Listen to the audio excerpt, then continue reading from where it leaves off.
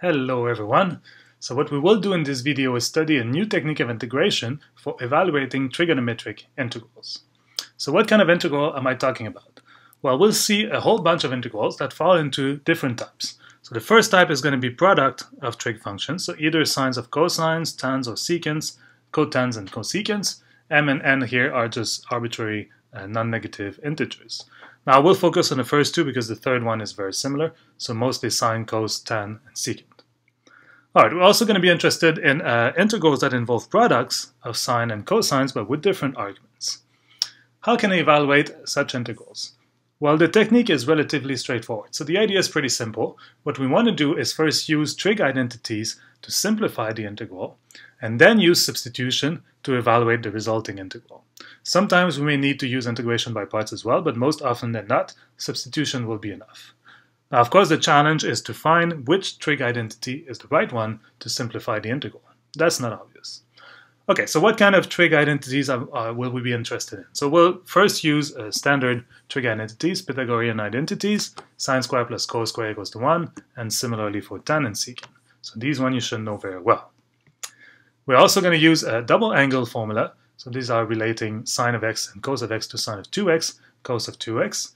An addition of angle formula which relates sine x cos y, cos x cos y, and sine x sine y. Now you don't have to know all of them by heart, but you can just look them up and use them to evaluate the integrals. Okay, so what I'll do now is just work out two examples, and then I'll try to come up with a more general picture of how uh, this uh, technique works. So let's study first the uh, following integral. So the integral of the cube of the cosine function. So at first you might be tempted to just do a simple substitution, u equals cos of x. Now if you do that, then du will be minus sine of x dx. And the problem here is that there's no sine anywhere. So uh, you, it, this won't be very useful, or at least it won't be straightforward to implement this substitution. There's a better way of doing it. All right, so let's remove that and start again. How can we evaluate this integral? Well, one thing you could do first is just rewrite the cosine cube as a cosine square times cosine of x dx. All right, that's pretty trivial. But why would I do that?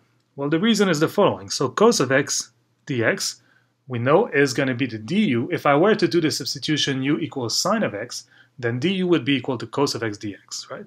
So this factor uh, would be exactly du if I do the substitution u equals sine of x. But can I transform the integral such that this substitution is the right one? So can I transform the integrand, rewrite the integrand only in terms of sine function? Well, indeed, here I can, because I know of a great identity that relate cosine square to sine square. I know that cosine square is equal to 1 minus sine square of x. Now I still have my cos of x dx. So this is just using the Pythagorean identity. And once I've done uh, once I've done that, then this is nice can, because then I can use substitution directly. So I'm going to use the substitution u equals sine of x and du equals cos of x dx because I factor out a cos of x dx here. So under that substitution, the integral becomes simply the integral of 1 minus u squared times du, which I can integrate. I get u minus u cubed over 3 plus a constant, and then I just substitute back to get sine of x minus sine cube of x over 3 plus a constant. Okay, so that worked. The key here was to first factor out a cos x dx, because I knew that if I were going to do somehow the substitution u equals sine of x, that would be the resulting du. And then I use trig identity to uh, manipulate the integrand and rewrite it in terms of sine functions only. Okay, so that's one example. Let's do a second one. Very similar integral. Integral of cos square of x dx. Now, can I do the same thing?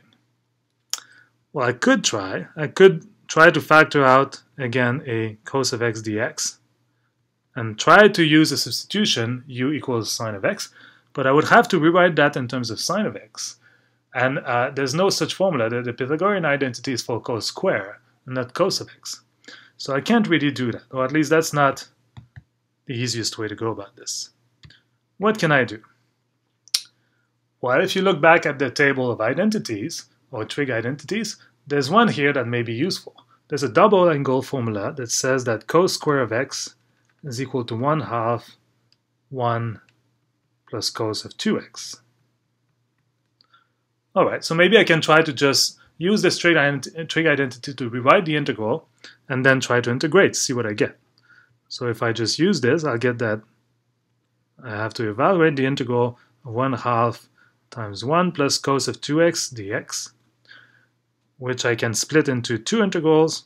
First 1 half dx plus 1 half of integral of cos of 2x dx. Now that's great. First integral I can do directly. The second one I just do a simple substitution, u equals 2x, du equals 2 dx. What do I get? Well, the first thing will give me 1 half times x plus 1 half. Under the substitution, I get cos of u and then du over 2. This gives me back x over 2 plus 1 quarter times the integral of cos of u, which is just sine of u, but u is equal to 2x, so I get sine of 2x, plus a constant. So that is the final answer. Great, so here I had to do something slightly different. So I used the trig identity again, but now I used the double angle identity, and then I could integrate directly. So I didn't have to factor out uh, something like cos of x dx. Uh, here was just simpler than that. So you see that depending on the type of integral here, uh, it's actually quite different. It's not always the same technique. I mean, it's always the same idea. Use a trig identity and substitution, but which trig identity you should use is not obvious. You have to think carefully about it. Okay, so let me recall uh, the general idea. So we're going to study, uh, with this technique, we can uh, study a whole bunch of uh, integrals that fall into these types, so product of sines, cosines, tans, and secants. And we also know a whole bunch of trig identities, Pythagorean identities, double angle formula, addition of angle formula. And the idea, the trick for this method is to start with the integral, integral use a trig identity to reformulate it, and then use a substitution. But the big question, of course, is the following. Can we come up with a general rule that will tell us which identity and substitution will work for any given trig integral that fall into one of these categories? That is not obvious. So that is a challenge for this week. Can you come up with this general rule? Now my advice is to try a bunch of integrals. For example, try the integral of sine cube of x or secant of x to the fourth power. Just try them try to find a good trig identity and then substitution that will work. And after doing many such integrals, try to come up with a general rule that will uh, work for any such integrals. Now we'll uh, study many more examples in class and try to come up with this general rule altogether.